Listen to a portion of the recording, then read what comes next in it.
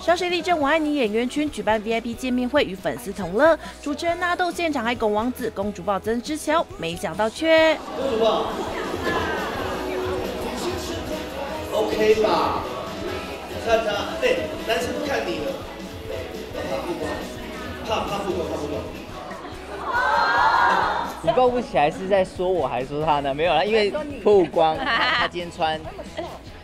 没有，因为我的裙子后面有开叉，刚刚工作人员跟我讲过很多次，所以我不想，我不想要冒险。我在戏里面有有抱他好几好几次，而且很烦，就是很多次都说没有，然后他就要加，他说这样比较帅。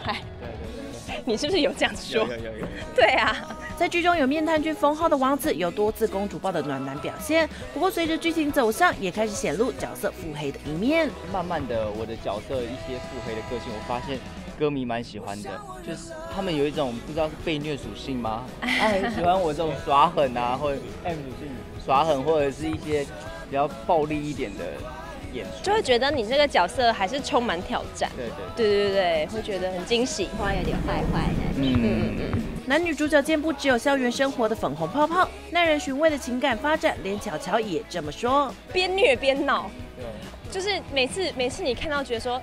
也太惨了吧！就觉得有点快要绝望的时候，就会出现一个非常好笑或非常闹的事情，让你觉得活着是充满希望。我觉得这是，其实这虽然是一个青春剧，可是这真的很像真实人生。对，比较写实一点的。对，在你最苦的时候，你身边可能出现一个朋友，或老天爷跟你开一个某个玩笑，你就觉得说。哎呀，笑笑就过了啦，就有点类似这样子。而也有参与演出的许光汉，在电视金钟入围名单公布后，以姜老师你谈过恋爱吗获得男配角的提名。同剧演员们也在第一时间送上祝贺。耶，太棒了！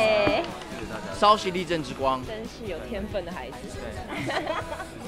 哎，不是，我们都演了十十几年了，他第一年第一年就入围了，对呀，是恭喜的意思。觉得自己运气很好嘛，对啊，其实就是 只是只是捡现成的这样。可客气客气，当然是不敢相信啊，就是惊吓多于开心，当然还是开心啊，就是很谢谢评审的青睐这样。嗯，许光汉谦虚以对，对他来说入围就是一种肯定。有这么多实力派演员共同演出的《稍息地震我爱你》，也难怪会受到这么多人的喜爱。完全乐蔡雪吴明正采访报道。